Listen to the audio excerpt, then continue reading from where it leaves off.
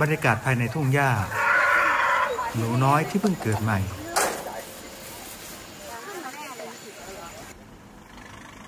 สาวๆ นอนเล่นกลางทุ่งหญ้า อย่างมีความสุข บรรยากาศที่เต็มไปด้วยความรักในโขงช้าง ชื่อโขงแม่หูรู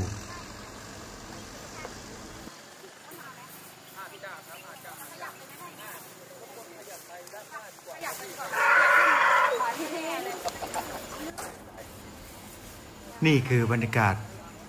บริเวณทุ่งกวางนะครับ หลังจากที่ช้างโขงได้ปรากฏตัว มารับชมบรรยากาศกันว่า ในทุ่งหญ้านั้นเกิดอะไรขึ้นบ้างนะครับ จะเห็นว่ามีช้างน้อยประมาณ 2-3 ตัวเลยทีเดียว นี่คือช้างสาวครับ สองสาวกำลังเดิน คียงข้างกันมา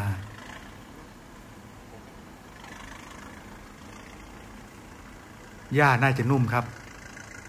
นอนเล่นซะเลยครับ มาดูว่าพวกเขาจะ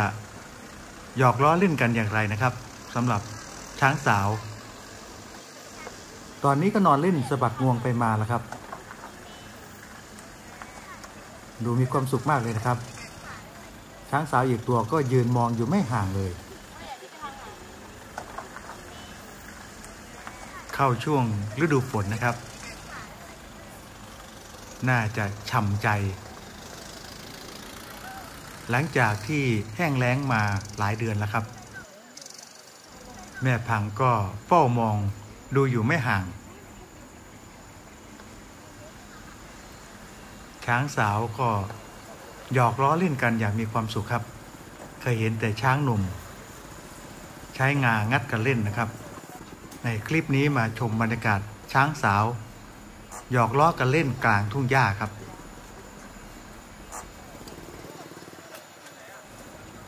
ยังคงนอนเล่นหมุนตัวไปมาในทุ่งหญ้าครับ ตอนนี้เดิน ไปตามริมคลองนะครับ ในขณะที่เด็กๆ หันมาจะไปเล่นด้วยแล้วครับวัยรุ่นตัวน้อยนะครับสามตัวเดินมาแล้วครับ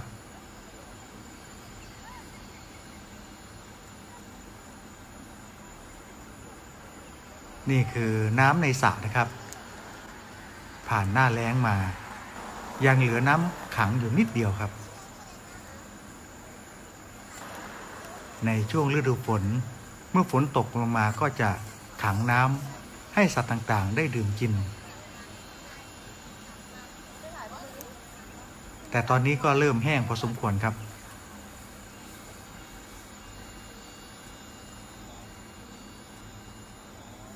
ช้างน้อยสองตัวเดินเคียงข้างกันมาครับ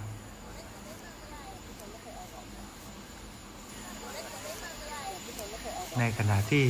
โครงช้างก็ กระจายอยู่รอบๆกัน แล้วก็เล่นกลางทุ่งหญ้าอย่างมีความสุข ในช่วงนี้ฝนก็เริ่มโปรยปลายตกลงมาทำให้ฉ่ำหัวใจครับพื้นป่าก็ดูสดชื่น ช้างป่าก็เลิงล่า แม้แต่นุชเองครับ เมื่อเห็นฝนตกลงมาก็ยังรู้สึกฉ่ำหัวใจเลย สัตว์ป่าก็เช่นเดียวกันครับ ก็คงจะมีความรู้สึกที่ไม่ต่างกัน สระน้ำนี้ก็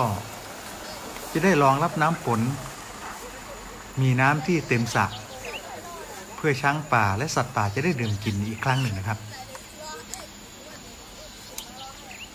นี่คือโขงแม่หูรูครับ พังสาวเยอะพอสมควร และก็มีช้างน้อยหลายตัวครับ ที่กำลังเกิดใหม่และก็อายุไล่เลี่ยกัน อยู่หลายตัวครับ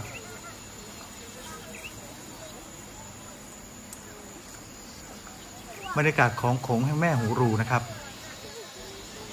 ออกมาโชว์ตัวที่ทุ่งกวาง พร้อมด้วยสมาชิกตัวเล็กตัวน้อยอยู่หลายตัวทีเดียว